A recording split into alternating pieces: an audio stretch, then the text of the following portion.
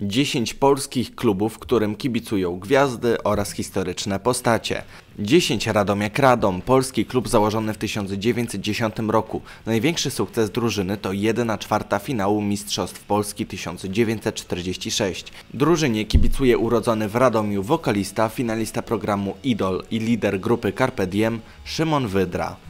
9 Śląsk Wrocław, dwukrotny mistrz Polski działający od 1947 roku, ewentualnie 46, zależy jakie źródło.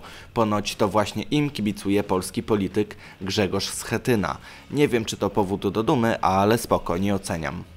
8. Ruch Chorzów. Teraz już będzie konkretniej. Klub założony w 1920 roku jest pierwszym historycznym mistrzem Górnego Śląska. Szeregi kibiców tego klubu zasilają m.in. aktor i artysta kabaretowy Bogdan Kalus, dziennikarz Kamil Durczok, przynajmniej mają czysto na stadionie, polityk Jerzy Buzek oraz językoznawca Jan Miodek.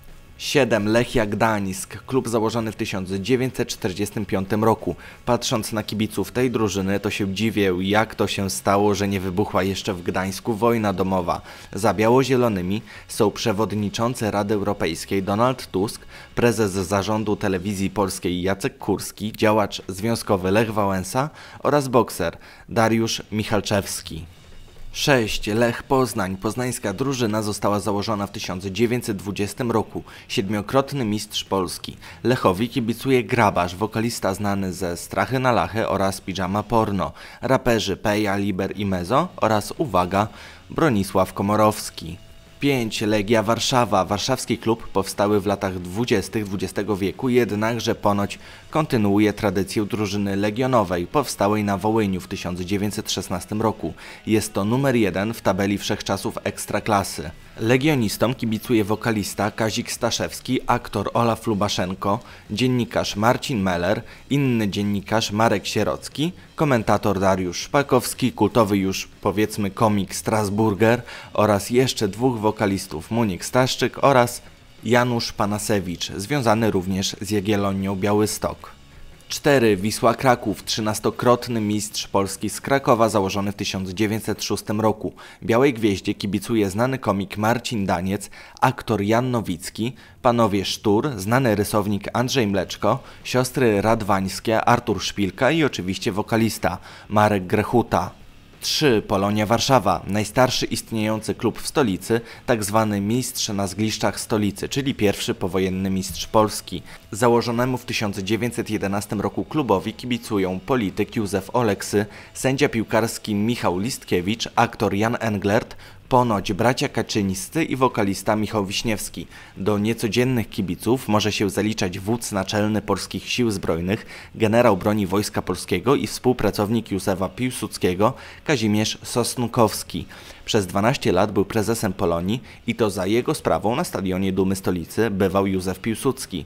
Kolejnym nietypowym kibicem Polonii był Marian Łącz, aktor, który był, uwaga, piłkarzem klubu.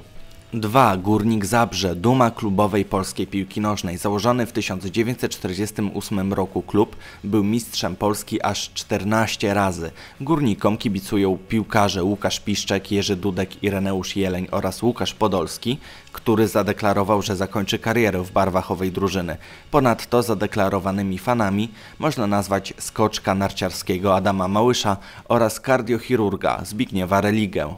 1 Krakowia Kraków. Na koniec klub, który może pochwalić się niezwykle piękną historią. Krakowska drużyna powstała w 1906 roku i jest najstarszym istniejącym polskim klubem. Jest jeszcze Pogoń Lwów, ale owa drużyna nie występuje już w Polsce. Znanym pasom kibicują wokalista Maciej Maleńczuk, autor hymnu klubu, Józef Piłsudski, czyli jak widać sympatia polonistów z Krakowią nie jest nieuzasadniona, Papież Jan Paweł II, który mieszkając w stolicy apostolskiej często pytał, jak tam moja ukochana Krakowia i to z niego powinniśmy brać przykład szanowania swoich rywali. Dalej można przytoczyć piosenkarza Mieczysława Foga, skrzypka Kennedy'ego oraz Andrzeja Dudę. Na koniec napiszcie w komentarzu, komu wy kibicujecie i proszę, Weźcie cholera chociaż raz przykład z naszego papieża i uszanujcie innych kibiców. Pytam, komu kibicujecie, a z kim macie zamiar kopulować w najbliższym czasie, to już wasza sprawa. Zostawcie łapkę w górę oraz subskrypcję z dzwoneczkiem, żeby nie ominąć wartościowych odcinków, które wychodzą codziennie o 15.